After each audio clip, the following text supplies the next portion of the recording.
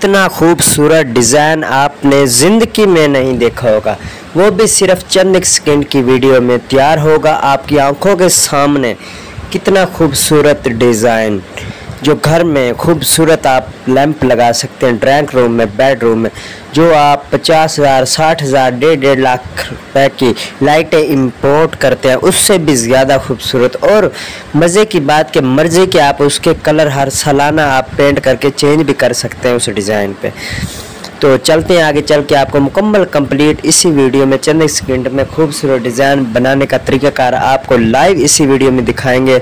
تو کائنڈلی ایک چھوٹی سی گزارش ہوتی ہے، ہم بہت ہی زیادہ محنت کے ذریعے آپ دوستوں کی خدمت میں ویڈیو لاتے ہیں۔ تو ایک لائک اور اچھا سا کمنٹ تو ہمارے لیے ضرور بنتا ہے، لیکن آپ سبسکرائب کرنا بالکل نہ بھولیے، کیونکہ یہ آپ دوستوں کی سپورٹ کی وجہ سے چینل ہم نے بنایا ہے، آپ دو سپورٹ کرتے رہیں گے، ہماری حوصلہ افزائی ہوتی رہے گی، آپ کا سبسکرائب بنتا ہے کرنا۔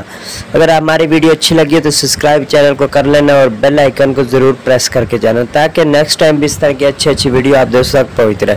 تو مکمل آپ دوستوں کو میں بتاتا چلوں کہ یہ کس طرح پھول بنایا گیا ہے اور اس کا طریقہ کار کیا ہے۔ سب سے پہلے جس دیوار پہ، جس وال پہ آپ نے یہ پھول بنانا ہے، وہاں یہ جو ہم نے پہلے آپ کو دکھایا، دو سپرنگ نما پلاسکٹ کے لگا لینے ہیں۔ کہیں سے بھی لے کے یا اگر سپرنگ نہ ملے تو لکڑی کے لگا کے، اس کے اوپر ڈوری لگا کے اس کو بینڈ کر لینا۔ اس کے بعد ہلکی ہلکی سیمنٹ لگانی ہے۔ سیمنٹ کے بعد جس طرح ہم گلائیاں بنا رہی ہیں، اسی طریقے کے ساتھ آپ نے مکمل اس کی فنشنگ کرنی ہے اور آپ کو مزید رہنمائی چاہیے ہو تو داتا کنسٹرکشن ٹیکنک کی یہ ویڈیو آپ دوبارہ بھی دیکھ سکتے ہیں۔ ایک بار سمجھ نہ آئے تو دو بار دیکھ لینا، دو بار سمجھ نہ آئے تو دس بار دیکھ لینا۔